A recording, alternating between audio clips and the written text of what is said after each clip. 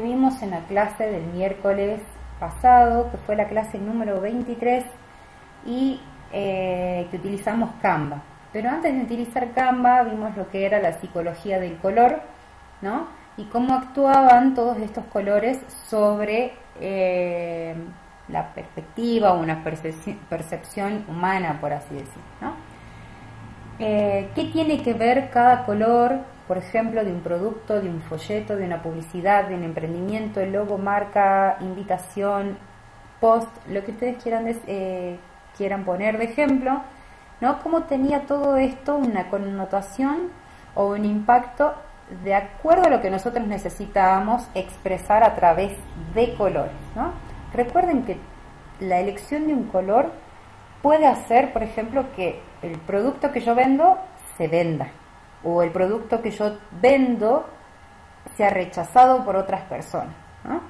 Eh, veíamos, por ejemplo, bueno, en el Word que les mando con toda la información de los colores, obviamente no les puse todo, les puse los más comunes. Eh, pueden ver qué significa eh, los colores más comunes como marrón, rosa, morado, azul, blanco, negro, rojo.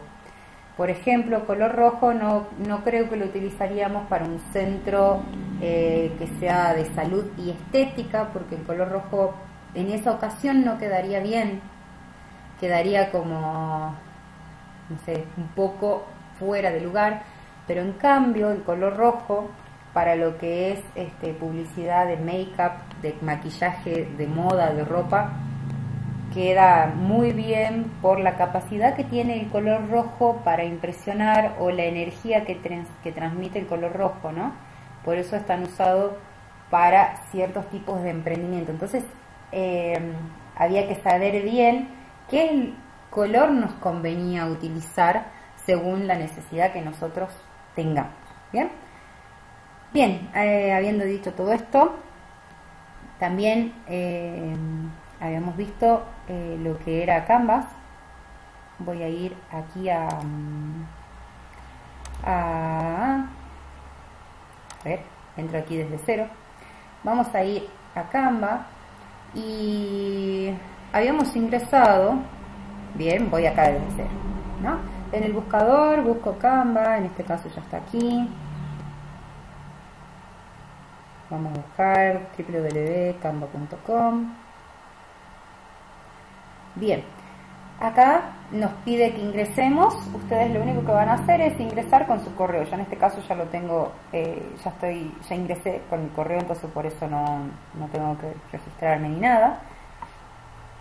Bien, en la clase del miércoles habíamos visto infografía, habíamos dado el ejemplo de una recolección de alimentos no perecederos para gente necesitada, pero cuando terminó la clase, eh, uno de los chicos que tiene su emprendimiento me preguntó cómo se haría en el caso de las historias de Instagram por un tema del tamaño, ¿no? Entonces podemos ver que aquí también tenemos la opción de historia. Lo que es la pantalla en el margen izquierdo tenemos diferentes cosas eh, recomendados, que son todos estos que aparecen aquí abajo, eh, los diseños que uno ya tiene, los que están compartidos, planificación, etc. Bien, en toda esta barrita, como estoy moviendo el mouse, tenemos para diferentes cuestiones. Por ejemplo, tenemos para hacer presentaciones, infografía, que este ejemplo ya lo vimos el miércoles, eh, gráfica, póster, folletos, depende de lo que necesitemos, tarjetas horizontales, ¿no? Es obvio que, por ejemplo, una tarjeta horizontal jamás va a tener el mismo tamaño que, por ejemplo, un post de Instagram que tiene que, por así decir, completar la forma de la pantalla de los celulares de ahora, que son rectangulares, verticales, ¿no es cierto? Bueno, vamos a entrar a ver a un post de Instagram. Bien. Estas son plantillas que ya vienen totalmente prediseñadas. ¿Qué es lo único que nosotros tenemos que hacer? Cambiarle el color, letra, eh, imagen, datos y demás cuestiones. Bien. Esto sería... A ver. Vamos a ver. Creo que ingresamos.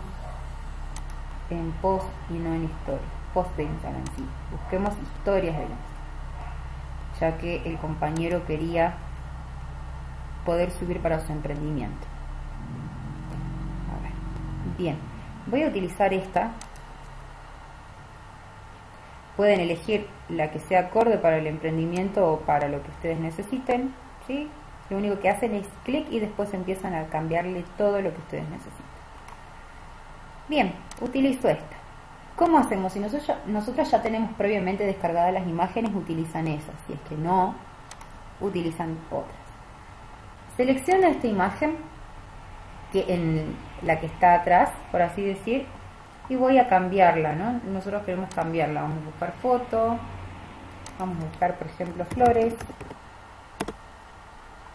ya que estamos en el mes de la primavera. A ver. Vamos a buscar flores, depende de lo que nosotros necesitemos, obviamente. Y le voy a poner esto. Perdón, está... Eh, no está gratis. Recuerden que les decía que cuando dice la palabra pro es que tiene un costo. Cuando dice gratis, bueno, la redundancia es gratis. Bien. Esta foto que va a hacer va a ir en cuenta de, de la color pastel con hojas. ¿La puedo eliminar? Sí, la puedo eliminar. ¿Y qué hago con esta? De flores la pongo en el lugar que estaba la otra. Me van a decir esa foto está vertical, no importa, ustedes pueden, según la imaginación que tengan, ustedes pueden utilizarla como ustedes quieran. Bien, este texto lo voy a correr. Ahora, ¿qué pasó con esta imagen? Quedó por arriba. Esta imagen estaba totalmente diferente, estaba atrás. Entonces, botón derecho y la opción donde dice pasar al fondo. Bien, ¿qué hacemos con este texto? También lo seleccionamos, lo arrastramos y lo ubicamos donde no, nosotros necesitemos. Bien. Este fondo blanco también nosotros si que quisiéramos podemos cambiarlo o lo dejamos blanco. Y esta sería la foto de la persona en cuestión. A ver, pongamos ropa indumentaria, a ver qué nos aparece. Hagamos de cuenta que nosotros tenemos un emprendimiento de indumentaria y necesitamos cambiar la fotito del producto que nosotros estamos ofreciendo, por ejemplo. Bien a ver.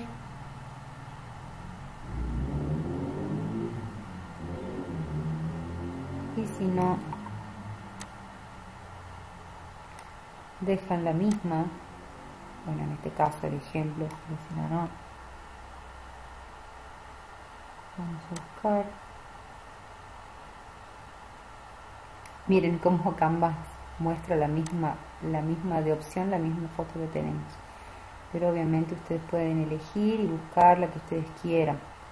Pueden tenerla ya previamente descargada también para evitar eh, demoras.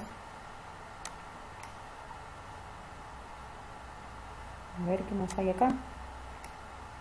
Todo lleva su tiempo y dedicación, que ya saben que es todo. Bueno, voy a elegir esta. Bien, ¿qué hago entonces con la que estaba atrás? La elimino, simplemente y esta puedo agrandarla un poco más hasta lo que sea necesario, ¿no? Ahí está, perfecto. Donde dice el texto ofertas de primavera, eso ya está totalmente prediseñado, pero ustedes pueden cambiar lo que dicen. Y también pueden cambiar el tipo de letra. Ese tipo de letra está bastante llamativa, lo pueden dejar o directamente seleccionan todo el texto con el mouse o presionan arrastre y eligen desde aquí ¿no? otro tipo de letra. No nos gusta, por ejemplo, esa. Entonces otra. Fíjense en que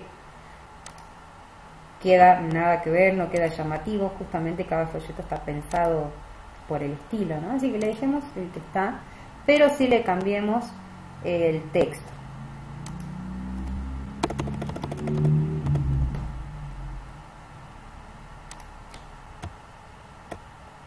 y le pongamos, eh, puede ser si ofertas de primavera, le podemos poner el nombre del local, ¿no?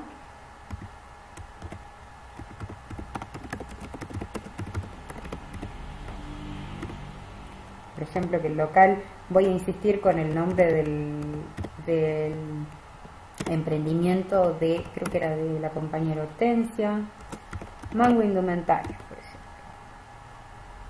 Bien, entonces puedo arrastrar eso también, ¿por qué no? Ponerlo más sobre la imagen, a un costado. Podemos como darle una inclinación también, ¿por qué no? Bien. Es según lo que nosotros necesitemos. Ok. Acá dice no te lo pierdas. Podemos esto también modificar y poner eh, ofertas, no sé, a ver qué puede ser. Ofertas imperdibles, por ejemplo. Bien. Eh, control Z, perdón. Y acá podemos poner ofertas increíbles.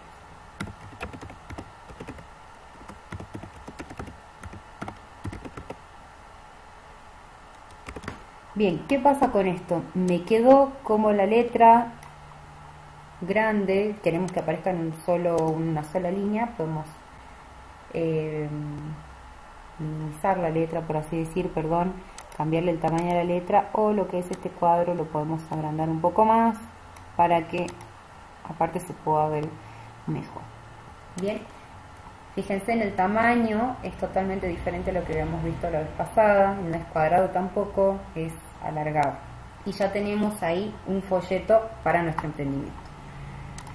¿Qué pasa si nosotros lo queremos guardar? Aquí a la derecha arriba dice descargar. Bien, donde dice descargar dice tipo de archivo. En este caso nos está eh, recomendando en PNG. Tenemos también JPG, PDF estándar, PDF para impresión. Bueno, también nos sale video MP4 y GIF. Dijimos que la clase que viene vamos a ver bien detalladamente lo que es cada formato para que tengan una idea y también vamos a volver a retomar lo que es RGB y CMYK, la diferencia entre tinta y luces. Pero por el momento vamos a utilizar uno de los más conocidos que es para guardar ahora, que es JPG. Hacemos clic. Bien, obviamente acá nos da el tamaño, la calidad. Eh, hacemos clic en guardar la configuración de descarga y clic en descargar. Y automáticamente se nos comienza a descargar. Fíjense en acá en la barra de, de estado se nos descargó.